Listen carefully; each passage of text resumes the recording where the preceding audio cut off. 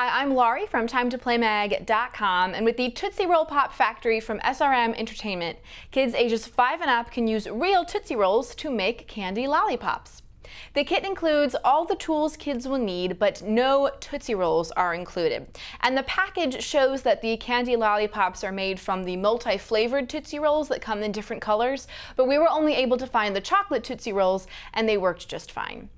This is a fun and delicious candy kit that is easy for kids to do. It took us about five minutes to make one lollipop. You just press the Tootsie Roll into the mold, close the press, insert a lollipop stick, remove it, and you're ready to eat. Now just to be clear, this does not make Tootsie Roll Pops with the soft candy in the hard candy shell. This is basically just a molded Tootsie Roll on a stick.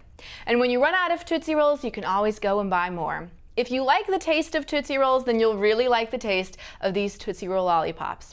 And if you want to find out more information on this kit, such as how much it costs and where to buy, then come visit TimeToPlayMag.com, your number one source for all things play.